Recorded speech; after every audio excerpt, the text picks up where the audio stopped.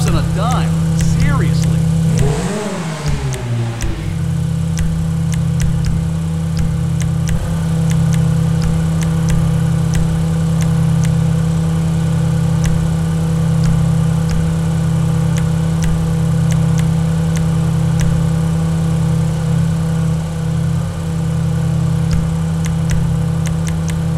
You just dropped your 0 to 60 by 0.8 seconds.